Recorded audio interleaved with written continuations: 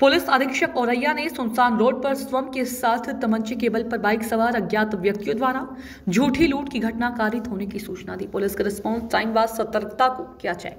Police की सतर्कता व रिस्पॉन्स टाइम को चेक करने के लिए पुलिस अधीक्षक चारू निगम स्वयं को सरिता चौहान बताते हुए भेस बदलकर दो पहिया वाहन पर बैठकर जाते समय प्लास्टिक सिटी के आसपास सुनसान रोड पर स्वयं के साथ तमंचे के बल पर बाइक सवार अज्ञात व्यक्तियों द्वारा झूठी लूट की घटना कारित होने की सूचना कंट्रोल रूम व डायल 112 को दी। पुलिस द्वारा घटना का तत्काल संज्ञान लेते हुए घटनास्थल पर पहुंचकर घटनास्थल का निरीक्षण किया। उपस्थित पुलिस बल व पुलिस अधीक्षक को पहचान नहीं हो पाई तथा उन्हें पीड़ित समझकर घटना के संबंध में संपूर्ण जानकारी प्राप्त की गई।